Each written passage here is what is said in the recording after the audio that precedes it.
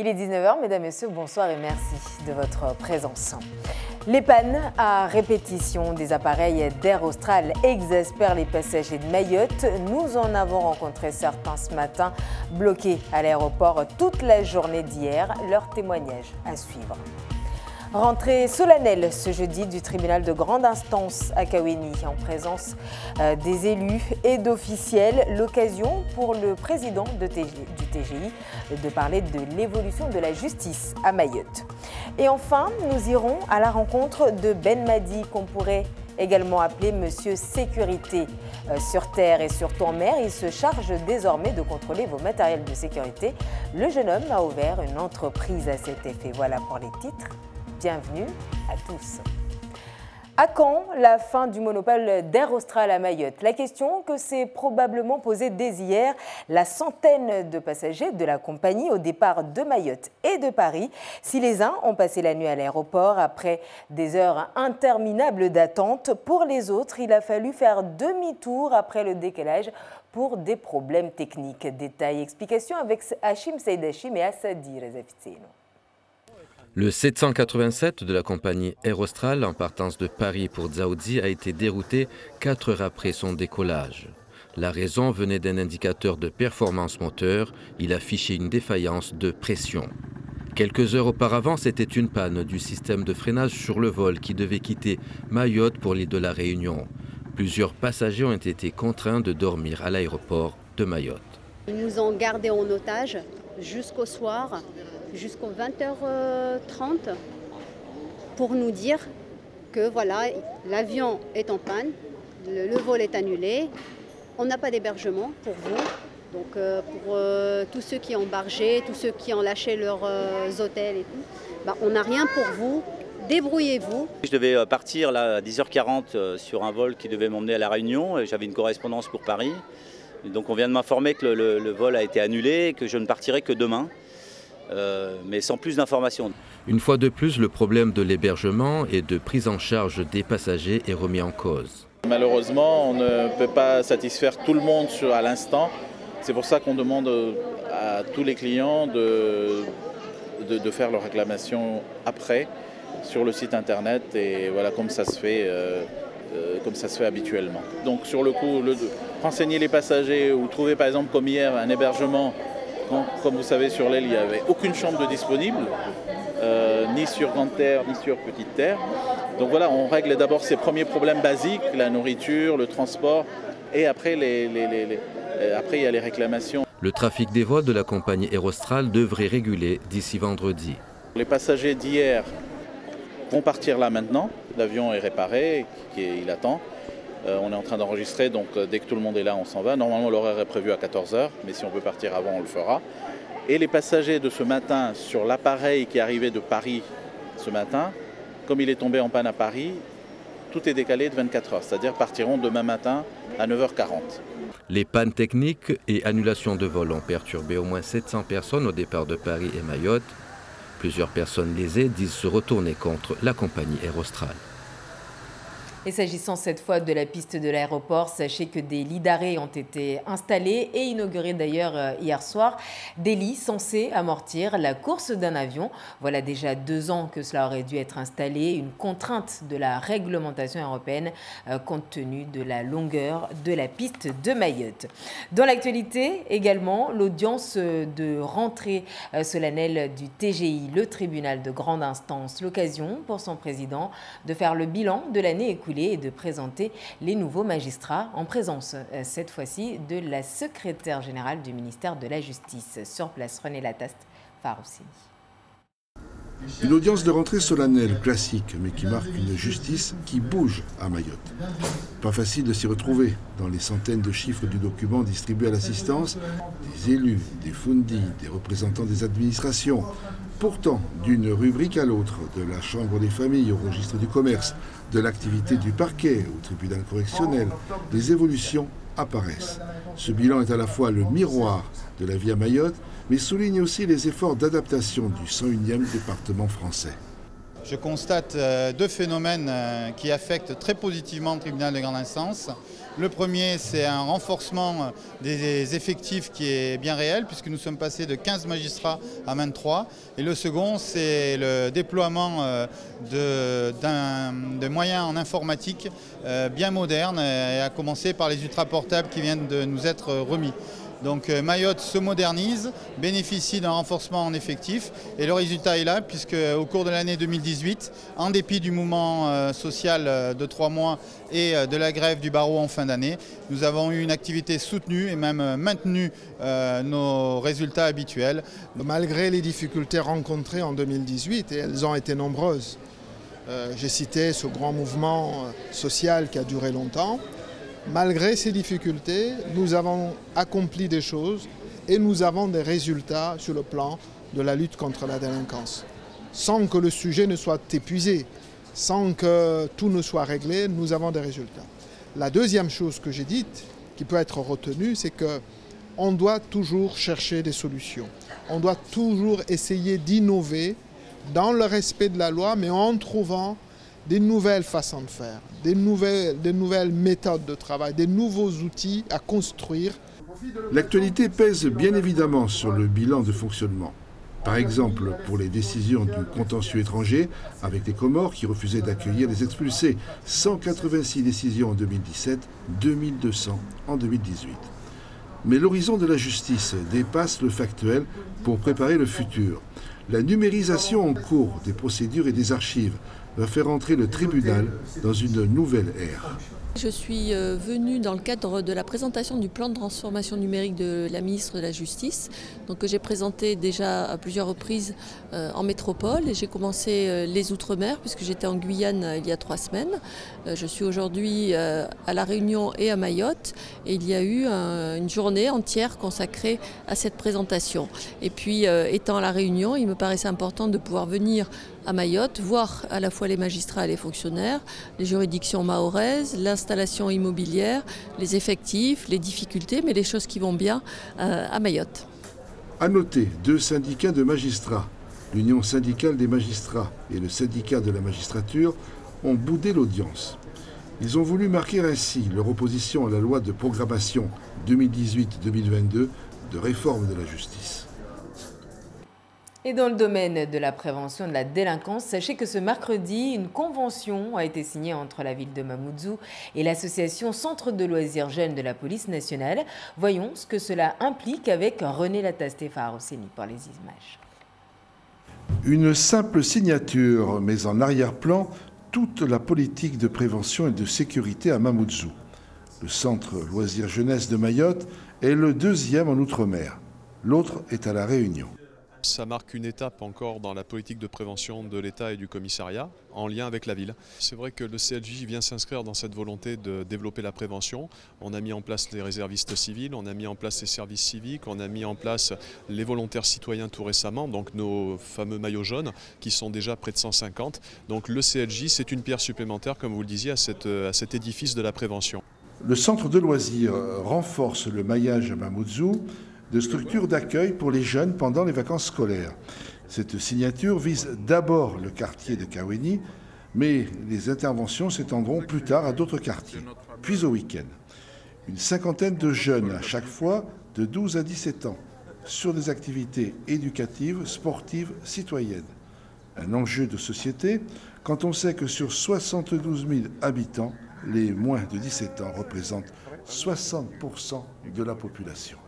Aujourd'hui, euh, avec l'arrivée de euh, cette association portée par la police nationale, c'est aussi un opérateur en plus qui va contribuer sur l'encadrement de cette jeunesse qui a besoin d'être encadrée parce que comme je l'ai dit tout à l'heure lors de mon discours, si on ne s'occupe pas de cette jeunesse, elle s'occupe de nous. Alors il faut tout faire pour donner les moyens nécessaires à ce qu'on puisse donner la chance à nos jeunes de pouvoir réussir leur avenir. En un an, on prévoit que plus de 500 jeunes fréquenteront ces centres de loisirs. Début des activités lundi prochain. Lui a commencé son activité avec finalement l'aide de sa famille. À l'aube de ses 30 ans, Ben Madi vient d'ouvrir dans la commune de Tingoni son entreprise de vente et de contrôle de matériel de sécurité. C'est la rencontre de cette édition signée Géraldine Lui. Qu'est-ce que ça fait alors à la famille de voir qu'après tant d'années, il réussit à monter son entreprise? Eh ben, On est tous heureux, parce que nous, on n'y croyait pas. Mais finalement, il est arrivé. On espère que ça ira encore euh, plus loin, que ça n'arrêtera pas là. C'est ici, à côté de la bibliothèque de Mroalé, que débutent les aventures entrepreneuriales de Ben Madi. À 27 ans, cet ancien chauffeur de bus originaire du village ouvre la première entreprise mahoraise spécialisée dans la vente et surtout le contrôle de matériel de sécurité et de sauvetage. J'ai vu qu'il y a un certain potentiel ici en fait, donc j'ai décidé de venir m'installer à Mayotte pour pouvoir euh, faire mon entreprise. forcément ça amène un plus euh, au niveau de la sécurité maritime parce qu'avant, euh, ce genre de matériel, on est obligé de les renvoyer à la réunion pour les faire réviser. C'est des délais et souvent des, contraintes importantes pour les professionnels euh, qui, travaillent et qui, cherchent à être productifs et dont la sécurité est, souvent secondaire. Donc là, ça va être un bon apport pour, le monde maritime qui qu'il y ait du matériel de sécurité qui soit révisable sur l'île. Affaires maritimes, gendarmes, particuliers, pêcheurs, les clients potentiels de Ben, seuls pour le coup dans le secteur des pêcheurs, à qui il a même créé un prototype de gilet de sauvetage. Le gilet, il est là. J'ai essayé d'intégrer ce gilet-là, là-dessus, dans une veste légère à peu près qui aide à la flottabilité. Et le gilet, il est à l'intérieur. Dedans, j'ai mis un système d'arnais aussi pour, euh, tenir les pêcheurs. Et à l'arrière, s'il y a un souci, ben, on peut toujours les. J'ai essayé de mettre un truc, on peut toujours les remorquer par, par l'arrière. Malgré sa bonne volonté, ouvrir son entreprise à Mayotte n'a pas été facile, dit Ben, mais la municipalité de Tingoni compte l'épauler à l'avenir. Ça fait trois ans que tu essayes de faire ton entreprise. Quelles ont été les, difficultés? Ben, Déjà, premièrement, c'est un terrain. Avoir un terrain, c'est compliqué ici à Mayotte. Donc là, c'est un terrain provisoire que mon oncle a, accepté de me, prêter. Et même l'électricité, c'est un peu compliqué aussi parce que j'étais obligé de prendre un groupe pour essayer de me démerder, pour, avoir, pour travailler dans de bonnes conditions. L'entreprise ne sera pas là. On a deux choix. Euh, juste à côté, en face du collège, on peut dégager un espace où il pourra mettre ses conteneurs et commencer son activité. Mais un peu plus tard, ça sera dans la zone de la marina qu'on est en train de construire sur Tingoni. Ce métier, son métier, Ben l'a découvert en travaillant au port de Marseille il y a quelques années. Lui, qui a des rêves plein la tête, pense déjà à étendre son activité à l'avenir. Un mot maintenant sur euh, le prix des carburants et du gaz à partir de demain, vendredi 1er mars. Le samplon est à 1,49€ le litre, le gazelle à 1,30€, 89 centimes le litre pour le pétrole lampant, 97 centimes le litre pour le mélange détaxé le Go Marine est à 0,93 euros le litre. Des prix en hausse pour le mois de mars de 30 à 50 centimes pour le carburant. Le prix de la bouteille de gaz de 12 kg est de 23 euros. Elle augmente donc de 1 euro en un mois. Depuis hier, une délégation menée par Valérie Pécresse, présidente de la région Île-de-France, est en déplacement dans l'océan Indien. Après l'île de la Réunion, Valérie Pécresse, Patrick Caram, vice-président chargé des sports, et Jean-Philippe Dugouin-Clément, vice-président chargé de l'écologie, se rendront à Mayotte pour signer chez nous aussi une convention de partenariat avec notre département, comme ce fut le cas hier avec la région Réunion. Nadia Tayama, Laurent Figon. Effet d'annonce ou proposition concrète, l'artiste peintre Charlie Lesquelin espère que cette convention ne se résumera pas uniquement qu'à des promesses. Moi, j'ai été très déçu par l'accueil que m'a eu plusieurs fois à Paris. L'artiste est largué dans le chemin, nous arrive, nous sommes de la Réunion, nous arrive en ville là-bas et il est un peu rabaissant. Franchement, on m'a reçu des choses, m'a ressenti des choses mauvaises. En Asie, c'est pour ça qu'il travaille beaucoup avec l'Asie parce qu'il a une façon de recevoir les artistes que les, beaucoup plus gaillards, ils battent à en l'air. Dans le domaine sportif, à l'approche des JO de 2024 à Paris, la région Île-de-France promet de faciliter l'accueil et les entraînements du vivier d'athlètes réunionnais sur son territoire. Euh, pour euh, me confronter à des athlètes euh, de ma catégorie, il faut bien souvent que je fasse des séjours en métropole. Et bah, niveau financier, ça commence à faire une petite somme. Ça va permettre à moi à, aller au championnat du monde l'année prochaine au Chili. Et grâce à ces résultats-là, bah, il peut rendre fier à la Réunion, il peut représenter le karaté. Il est super. La Réunion citée aussi en exemple en matière d'énergie renouvelable, la région Île-de-France souhaite s'en inspirer. L'Île-de-France, c'est 90% d'énergie importée, pratiquement que de l'énergie carbonée ou nucléaire. Donc il faut qu'on change tout ça. Et vraiment, l'exemple de la Réunion est important. Un coup de pouce sera également donné aux start-up pays avec la création d'un incubateur. Euh, le fait de pouvoir demain euh, permettre à des entrepreneurs réunionnais, des jeunes entrepreneurs réunionnais, de, de travailler avec des entrepreneurs et des jeunes entrepreneurs au niveau, au niveau de l'Île-de-France, c'est évidemment donc un, un, élément clé dans le, le développement des entreprises. La continuité territoriale entre les deux régions s'effectuera également dans les cantines scolaires. Les lycéens d'Île-de-France dégusteront très prochainement l'ananas Victoria et d'autres produits locaux dans leurs assiettes. Et à noter que Valérie Pécresse devrait rencontrer euh, demain le président du département Sobadine, Ibrahim Ramadani. Des antibiotiques ou antidouleurs délivrés par votre pharmacien sans l'avis ou plutôt sans ordonnance du médecin. L'idée fait son chemin. Un amendement dans ce sens, en tout cas, sera étudié dès le mois prochain dans le cadre de la loi santé. Si la nouvelle est plutôt bonne pour les patients, les médecins, eux, font plutôt grise mine. Laetitia Legendre, Pascal Caron. Les pharmaciens pourront peut-être dans quelques mois délivrer librement des médicaments habituellement prescrits sur ordonnance. C'est la proposition d'un député de la majorité pour les petites urgences, notamment quand le médecin n'est pas disponible. Un dépannage plutôt bien accueilli ce matin par les patients. Si c'est urgent, je serais bien content qu'ils me le donnent quand même. Les pharmaciens ont fait des études quand même euh, assez élaborées et je pense qu'ils sont capables de savoir euh, ce qu'ils peuvent donner. Pour les dépannages d'urgence, c'est utile. Ouais. Euh, après, je pense aussi que qu'un avis médical est euh, souvent important. Une annonce qui réjouit les pharmaciens. Ils délivrent déjà parfois ces médicaments prescrits normalement par des médecins pour soulager leurs patients. Dans les cas de pathologie bénigne, les malades n'auraient plus à se tourner le week-end vers les urgences par exemple. Si l'amendement est adopté, ils pourraient avoir accès plus facilement à ces antibiotiques ou ces antidouleurs. L'ophtalmologie, la douleur, euh, les problématiques d'infection urinaire pour les femmes, euh, c'est vraiment les, les, les, les, pathologies qui posent problème, qui font souffrir et qui, et qui handicapent. La liste définitive des médicaments n'est pas encore déterminée, mais cette proposition heurte les médecins. Nous craignons clairement pour la sécurité du patient parce que derrière cette pathologie aiguë pour lesquelles il pourrait y avoir un traitement simple, en fait, il peut, il peut y avoir quelque chose qui nécessite un examen clinique du patient parce que ça peut être plus grave que ça n'en a l'air. Et les pharmaciens ne sont pas en mesure de le faire Les pharmaciens ne sont pas en mesure aujourd'hui de réaliser un examen clinique du patient. Le projet pourrait intéresser les patients, notamment dans les déserts médicaux.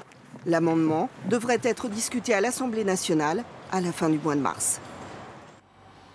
Retour à Mayotte, je vous emmène au musée, mais vous ne serez pas seul puisque vous serez en compagnie des élèves de l'école coranique de Bambo Ouest qui y mettaient, eux, les pieds pour la première fois. Zora de Café, Ibrahim Dogo. Ces élèves d'une école coranique de Bambo Ouest ont fait le voyage depuis le sud de l'île pour une visite au musée de Mayotte. Cette visite est un peu particulière puisque les objets qu'ils regardent leur appartenaient. Quand tu t'es vu sur l'image, tu t'es reconnu ou tu as pensé que c'était quelqu'un d'autre? Je me suis reconnu. Et qu'est-ce que tu as dit? Tu as dit aux autres, regardez, je suis belle, je suis... C'est ça? Ouais. J'étais heureuse parce que c'était longtemps après, je me rappelais plus. Ces maîtres d'école coranique ressentent une fierté immense à la vue de ces objets exposés.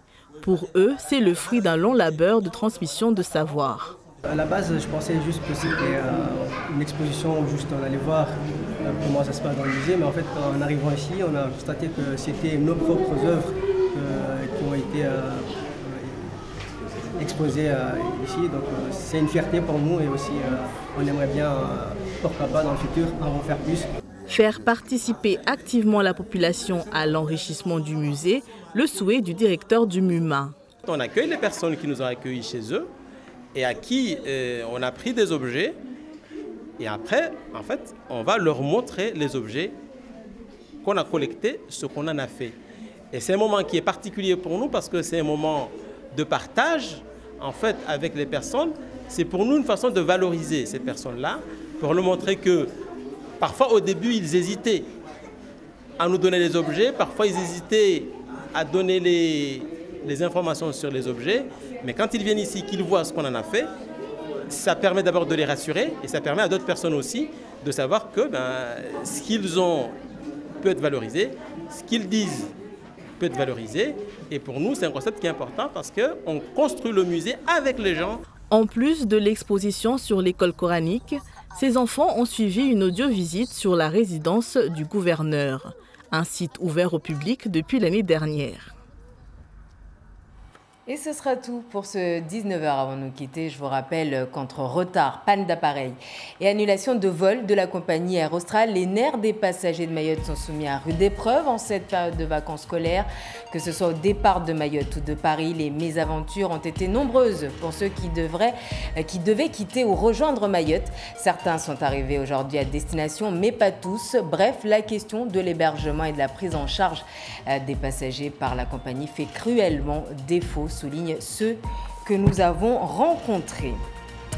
Merci de votre attention Yasmine Jaffar dans quelques instants pour le journal en Morée. Une pensée pour tous ceux qui sont nés le 29 février. Très belle soirée à vous et à demain.